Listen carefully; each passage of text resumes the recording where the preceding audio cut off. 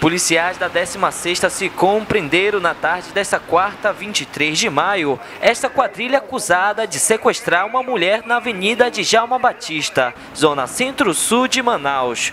Uma mulher acusada de fazer parte do bando está foragida. De acordo com o cabo Robson Lima, a vítima ao ser abordada pelo quarteto ficou em estado de choque e não conseguiu dirigir o carro.